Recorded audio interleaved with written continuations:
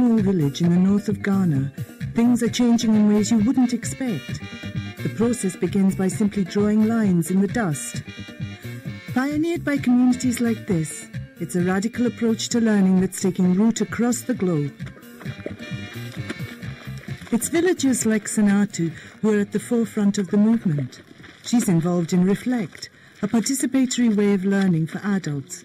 This film explores the impact on Sanatu's daily life. I have eight children. We live happily together with my husband, his two other wives, and my mother in law. I'm a trader. I sell things like soap and cosmetics. Before I got involved with the Reflect group, I felt out of touch with the world around me. But now I'm learning so much.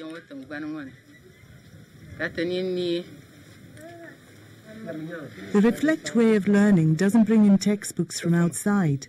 Instead, everything's created by the participants themselves. Here they're drawing a chart on the ground to work out the difference between the way men and women spend their time. How many hours are there from dawn to dusk? Stones on the chart show the hour. The next two columns show what women and men are doing at that time of day. Can someone choose a symbol for woman?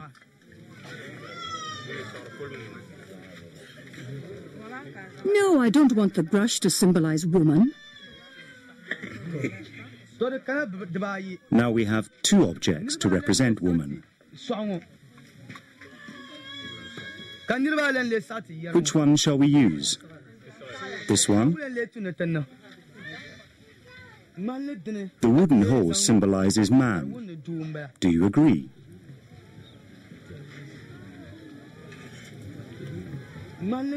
Which do you want to use to represent man on our chart?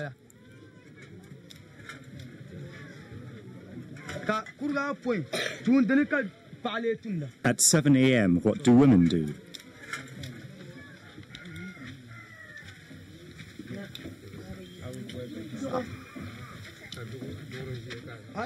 What's that? It's a cooking pot.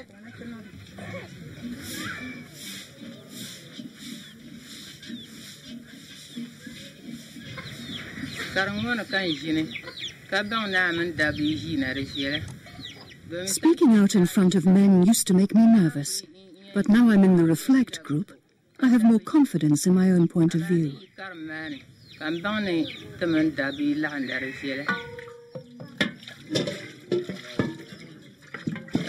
Sanatu is one of the 900 million adults across the world who don't know how to read or write, who've been failed by conventional education. In contrast to most literacy classes for adults, Reflect takes a much broader view of learning, using the participants' own experience and knowledge as the starting point.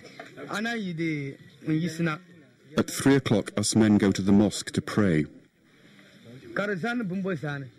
In this Muslim village, it's traditional for women and men to be segregated.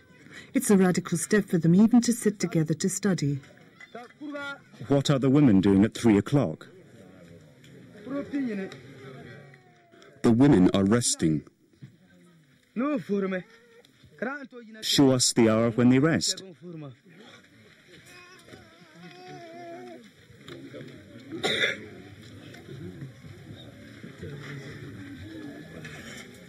No, we don't. We're still working. This is a symbol of our work. So there are times when women are working and men are resting. Why is that?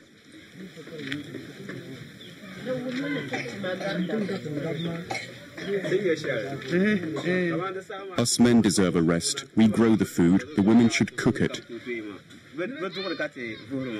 Couldn't the sweep their own areas?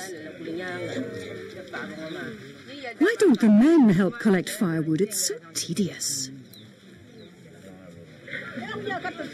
I think men should join in all the chores sweeping, fetching firewood, carrying water. The men should come on their bicycles to fetch their lunch. When we walk to the fields in the rain carrying their food, we can slip in the mud.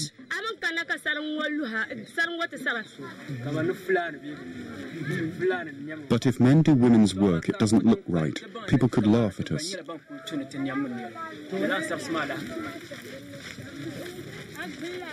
Fetching water has always been women's work in this village, but the discussions in the Reflect group lead beyond words into action.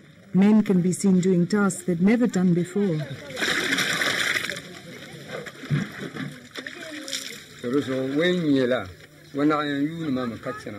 If other people see me fetching water, they think it looks strange. But I don't let it bother me. In our community, we're becoming more aware. We're learning how to help our wives.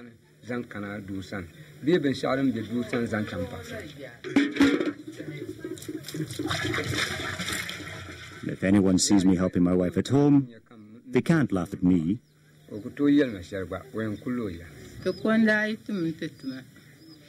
My husband and the other men in the Reflect group do seem to be learning something. I see some changes starting.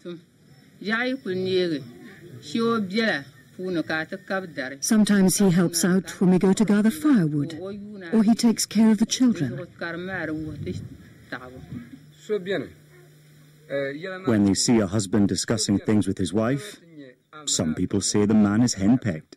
In my family, we're changing, though I can't say all the neighbours think the same as us.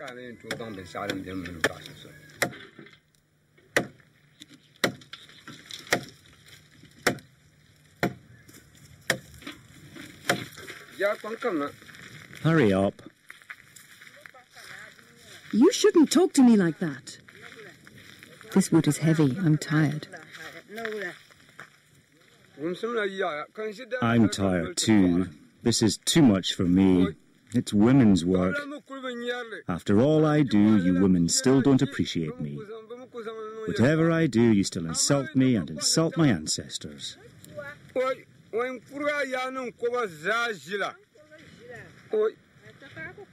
You're right. Whatever you do, I'll still insult you. I'm doing my best. Can't you see I'm trying?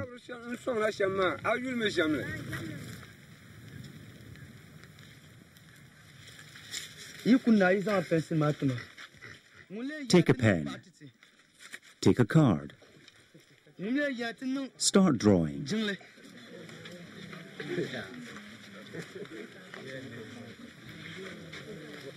Making a chart of men and women's workloads has a dual purpose. As well as changing ideas about whose job it is to carry all the water and fuel, the chart is used as a tool to teach literacy and numeracy.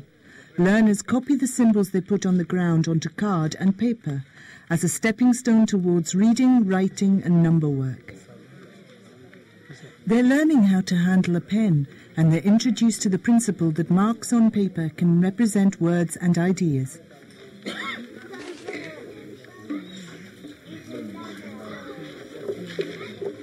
For Sanatu, studying numbers in the Reflect group has a direct impact on her work as a trader. I used to buy my goods from a middleman, and I didn't make much profit. Today I'm going to the wholesaler in town to find goods at a better price. I always had to ask my husband to buy school uniforms for the children, but now I'm going to have money to buy them myself.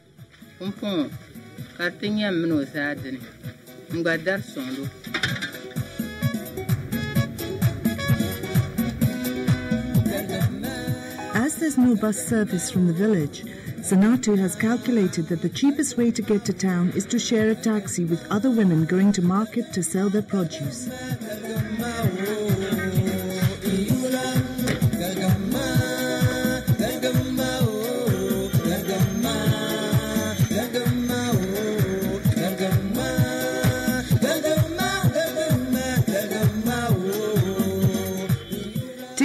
Part in the Reflect group has given Sanatu the skills and confidence to go out of her village and buy direct from a wholesaler. Now she doesn't have to pay such high prices to traveling traders. She can make more of a profit herself when she sells her goods.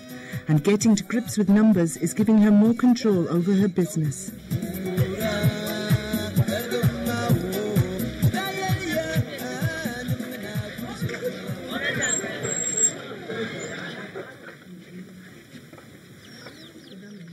In Sanatu's small village, there's no shop. Villagers rely on traders like her for anything they don't grow or make themselves.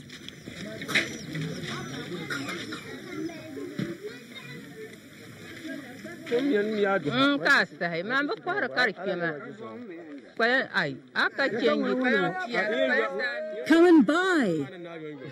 How much are the pencils? A good price.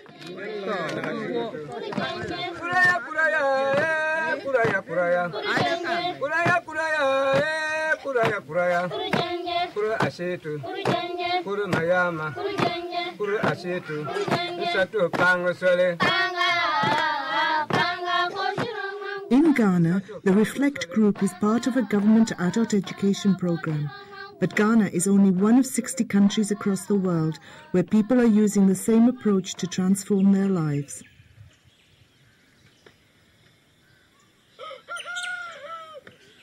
Here in the eastern Ghats of India, Reflect reappears in a very different context. The people who live in the ancient forest have started a group to fight for their land rights. They're adopting Reflect as a tool to help them resist the threats to their traditional livelihood. These indigenous people don't reject links with the outside world, but they treasure a rich storehouse of knowledge of wild plants and natural medicines accumulated over thousands of years of hunting and gathering in the forest.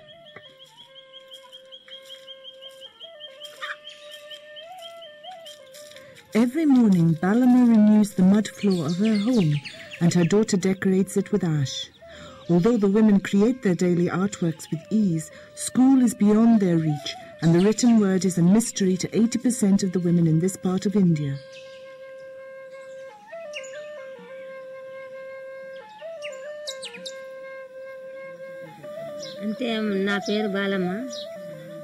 My name is Balama. His name is Balraju. We had four daughters. One died, and now we have three.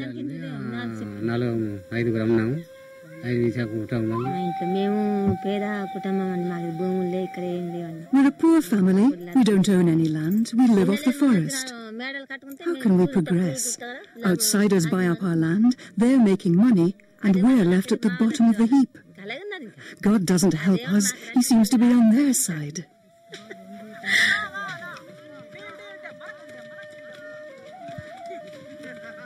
The villagers rely on their native forest for survival and harvest wild plants and grow food crops on the hills. But the arrival of commercial companies is disrupting this traditional balance. They put pressure on farmers to abandon their ancestral ways and grow cash crops like cotton instead. They promise progress, but entering the cash economy is leaving many families hungrier than ever.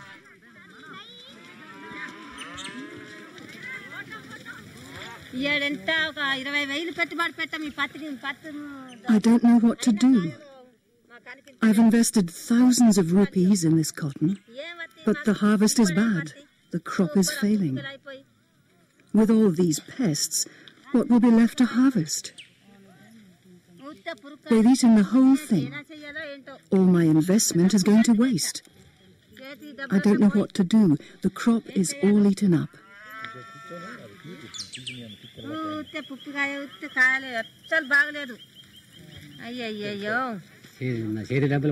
We lost everything.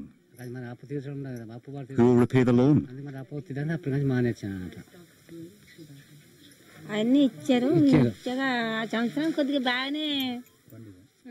The first year we made a good profit.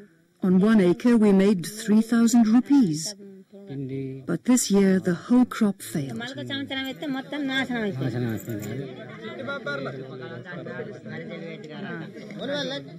Balama's family isn't the only one to run into debt as a result of growing cash crops like cotton. The villagers come together to discuss the problem in a meeting known as a goti. Gathering to talk in the goti is a practice going back many generations. What's new is that they're using the reflect approach to make the discussions more concrete and more participatory. Here they build a chart on the ground to work out how farming cotton compares to growing traditional food crops.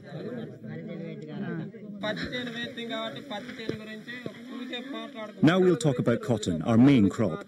This is a cotton plant. How many of us grew cotton this year?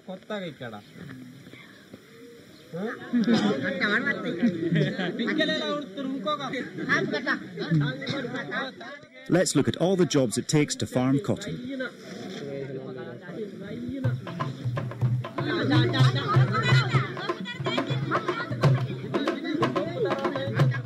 The Goti also uses theatre to underline just how much extra work it takes to farm cotton. There are many ways to express yourself apart from words. Reflect borrows freely from local drama and music.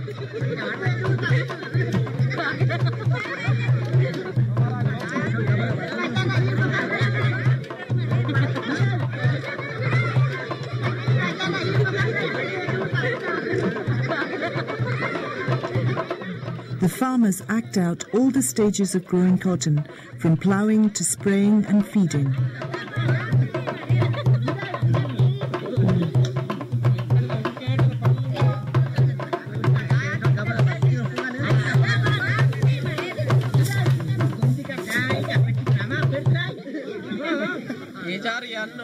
Now let's do some calculations. How much money did you make from cotton this year? After I repaid all my loans, I was left with a thousand rupees. All nine of you in the family worked. So for seven months' work, that's only 110 rupees each. We made a loss farming cotton. Why should we plant it again? Eh, We had to borrow money to lease the land and to buy pesticides. We worked hard for so many months for such a low return.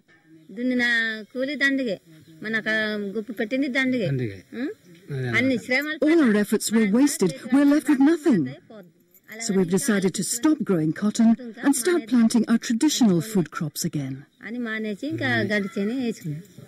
ఇంకా వేసుకునే వారు వేసుకుంటున్నారు అనుకోండి అంటే మా ఇంటి ప్రదేశాన్ని నేను చెప్తాను To grow traditional crops, farmers need a reliable supply of seeds. The Goti has found a self-sufficient solution, a seed bank. For each kilo of seed Balama borrows, she'll return two kilos after the harvest. Keeping the seed bank records uses newfound skills of reading and writing. We've been talking about cotton. This is how you write the word cotton.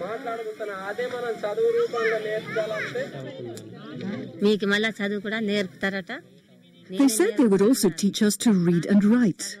I asked, why should I learn to read and write? What good would it do me? Learning new skills does help me communicate more confidently. So far, my reading and writing aren't perfect, but at least I'm learning to speak out and to ask questions. We used to run away when strangers came to the village. Now we have the confidence to face them.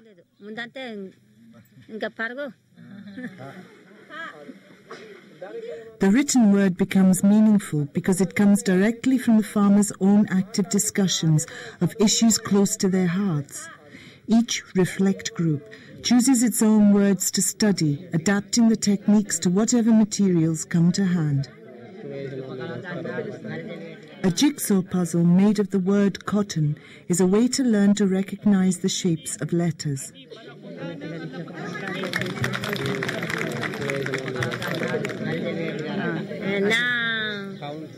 నా పేరు మట్ట నా పేరు మట్టుగా నేర్చుకున్నాను ఇంకా I have already learned to write my name.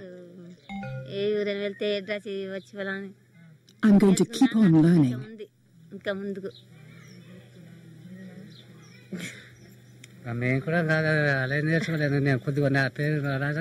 I also learned to write my name, but I forgot.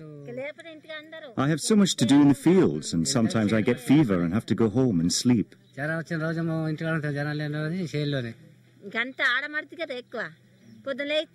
It's us women who work hardest. He gets up in the morning, brushes his teeth, and goes to the fields. I have to gather the firewood, decorate the floor, make the porridge, and then take it to the field. We eat there, and then we both work on the crops till three o'clock. When we come back home, I don't sit down. I have more work to do. I have to clean the house, sweep up the chicken droppings, prepare the food. I cook, eat, and then go to the Goti to study. He's too lazy to come with me.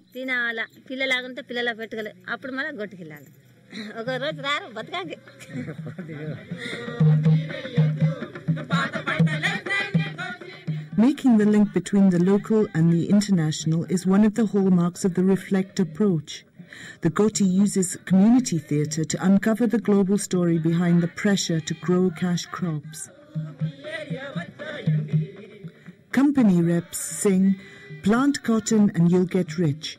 You can wear jeans like us instead of a loincloth.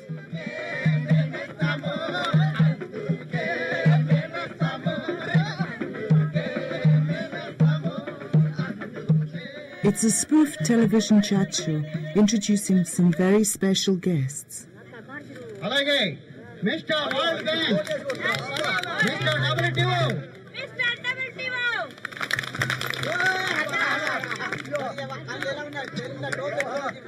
Bringing the World Bank and the World Trade Organization on stage, the play tackles the big issues of privatization and globalization. To see the world in our own hands, we should import all the products they have in America to sell at your village shop. Do you understand?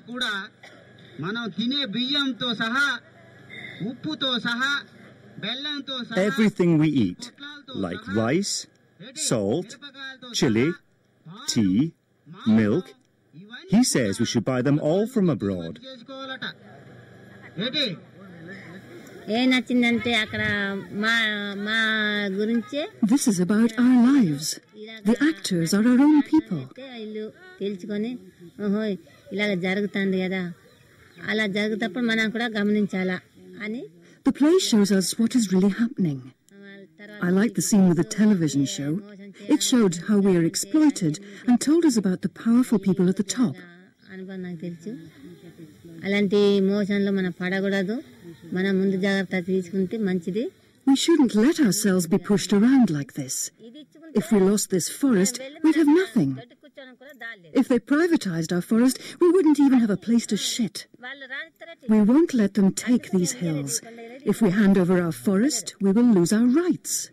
Where would we go? ఇది మేము వాళ్ళకి వాళ్ళకి ఇచ్చేస్తే మేము వాళ్ళ దగ్గర మేము నిలబడలేం వాళ్ళ దగ్గర మేము అడగడానికి హక్కు లేదు Through participating in Reflect, Balama has opened her eyes to a new outlook on her world. She and her husband take part in a protest rally. People from villages scattered throughout the forest join forces to demand their indigenous rights. The new depth of understanding that Balama has achieved at the Goti sessions and her own emerging sense of self confidence spur her into action in a way she wouldn't have dreamt of in the past.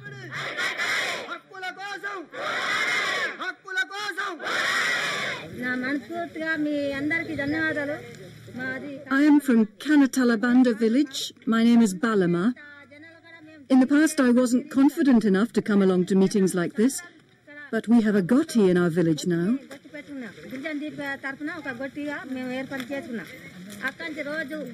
Through the goti, things have really started to change. Instead of being isolated with our problems, now we all sit together and analyze what is happening in our village and how we can work together to make changes.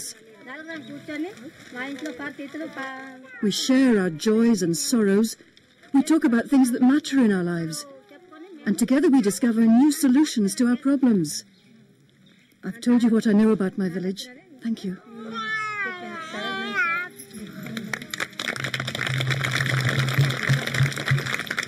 మేకి అడవి కాడ అతకారం ఉంది we have rights over our forest. We won't allow anyone to exploit us or push us out of the forest. You can't lift a heavy weight on your own. With one finger, you can't lift anything. It takes all five fingers to lift something up.